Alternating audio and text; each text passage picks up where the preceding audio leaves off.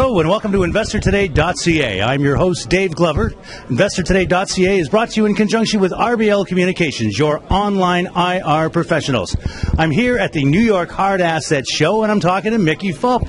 Mickey, always a pleasure to get a chance to talk with you, man. Well, thank you very Yeah. much, Dave. Yeah, last week it was Chicago. this week it's New York. Who knows where we're going to be next week, maybe? eh?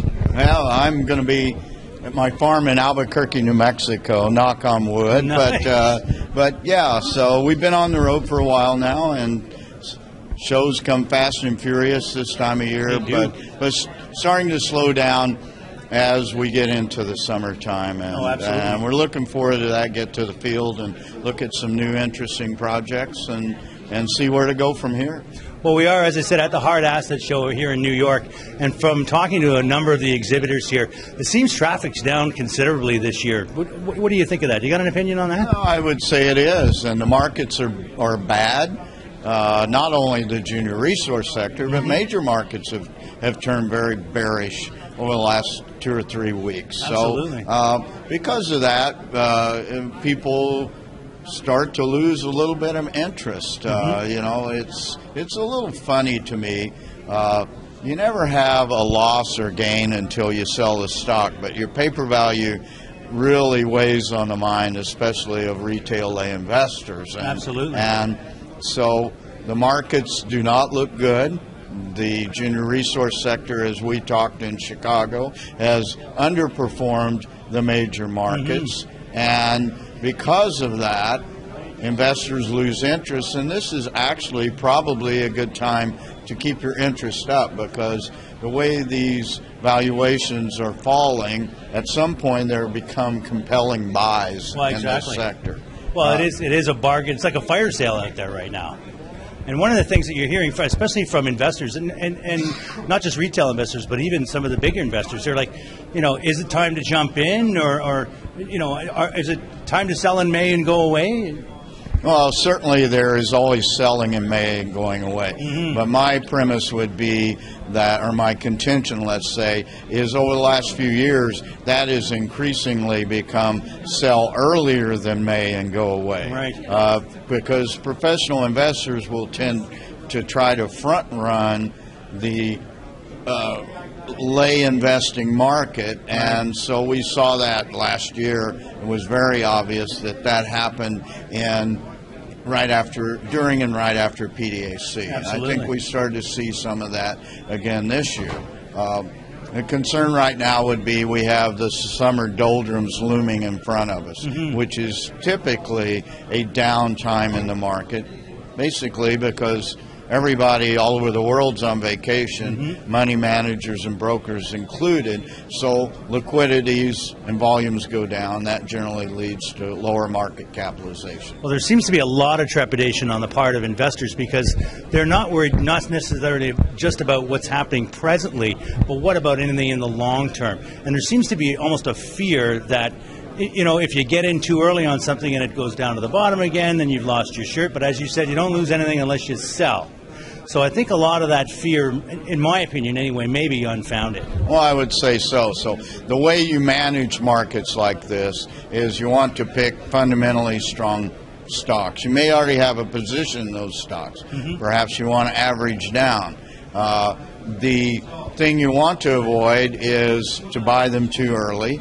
But what, the way that I would do it would be the stink bid concept. Right. You do a risk reward profile, very careful due diligence, and you say, okay, I want to own this particular stock at this particular price, and it's likely to, it's lower than the market it is right now. Right. So you put in a stink bid, and if it gets filled, then you're happy about that. If Right. it never gets filled, well, then it never met your risk reward profile, and you go find another one. Exactly. The thing that you need to be cautious this time of year is historically valuations have gone lower in July and August. Right. So, um, so you don't want to jump in too soon. You're not going to find the bottom, but Mm-hmm. more than anything, you need to find fundamentally strong stocks with the right share structure, people, and projects that have plenty of cash in the bank, and they're going to be able to weather this storm no matter how long it's going to last.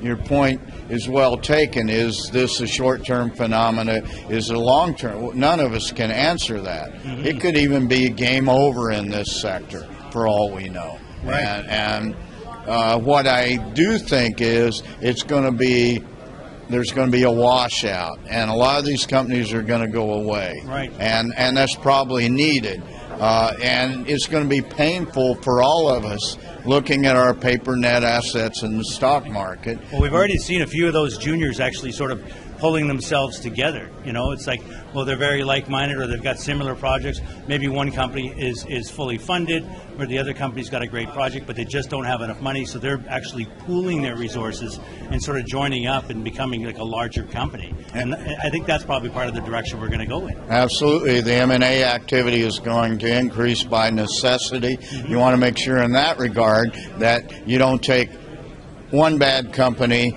and marry it with another bad company and make a bigger, worse company. So, um, so that's a caution that, that needs to be looked at. But uh, there will be a consolidation of this business. There needs to be a consolidation of this business, and hopefully we'll emerge on the other side a smaller but a better business for people to make money in the market. Absolutely, and that's what I, I think that's what we're going to see. Now, the other aspect too, for for those people that are paying attention to areas like the Yukon, their season's just starting up. They're only now just getting ready to start to drill again this season. Are they going to be missing the boat? Are people are going to be gone away at this point, and they're they're just they're just not going to get their story out there? Now it's hard to say. Uh, you know, the Yukon, uh, when the Yukon area play, and it was more than area play. It's a uh, it's a whole province, a significant part of nor- of northern Canada. Uh, there was a rush in, and there was a rush in by a lot of companies, a lot of people that did not have experience in the Yukon, Right. and they did not understand the short field season. I don't think anybody understood how difficult it was to to going to be to get drill rigs and get helicopters and get logistical support and get assays delivered on time. So last summer was for the most part, a bit of a disaster in the Yukon because companies, even if they were ready to go, they couldn't get the contractors, they couldn't Right. progress in a timely manner. And hopefully, some of that logistical bottleneck will have opened up and uh, be a clearer path for some of the better companies up there this summer. Uh, Well- that will remain to be seen. Well, and the other issue, of course, and you mentioned it briefly there, was the assays. You know, there's basically one lab that everyone's sending everything to. And in the beginning of the season, I know a couple of companies were getting a two-week turnaround on their assays. But by the end of the drill season, which is October, you know, you were you were sending your results or waiting for your results from October to say early February. Even- even some of them have been waiting since to, to further that to March. So again, that's that does a lot in your ability to get your news out there, especially when Right. you're waiting and waiting Right. and waiting for those results to come back. And you know, when the market's in this position that it is, people do get sort of disillusioned at that point with the waiting. There's that whole perception that, well, they keep telling me to wait, but what am I really waiting for?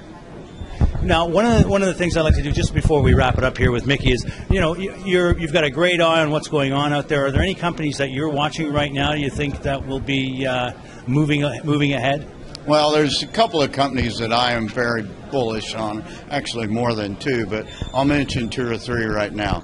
Uh, Curis Resources is a very compelling story uh, with an ISR copper play and with one permit to go and a test production facility should produce copper cathode sometime toward the end of this year. Uh, it's a Hunter Dickinson company. The technical risk is taken out of this play. There is some execution risk still remaining. Uh, they recently got uh, a nice offtake uh, uh, contract to fund the test production facility. So that stock has been very beaten up uh, because of some misunderstood permitting procedures, uh, permitting difficulties that have gone on there. Right. But they have a clear path to production on state land at this point. So uh, that one would be uh, uh, of interest to me. In fact, I've been buying Curis over the last couple of weeks. Uh, basically on stink bids. I'm accumulating more Curis because I like the story in the in the short term, short to mid term. Um, that's one. Uh, my graphite pick, of course, I, is Flinders Resources, which I consider the best of the cream of the crop. There's three major graphite players that that are way ahead of the game uh, other than the startup graphite company. So Flinders is my choice there right. with a project in Sweden, past producing mine. And finally, a stock which I am very bullish on, has not had a lot of news lately, is Brazil Resources. Uh, a very strong management team, uh, very well funded, good share structure, uh, a, a, relatively new uh, company in Brazil that I think has a very strong future ahead of it. Well, remember, folks, you heard it here first. I'm Dave Glover. We're coming to you live from the New York Hard Assets Show. It's May 14th. RBL Communications, thanks for bringing us here, and thank you for tuning in. We'll see you next time, viewers.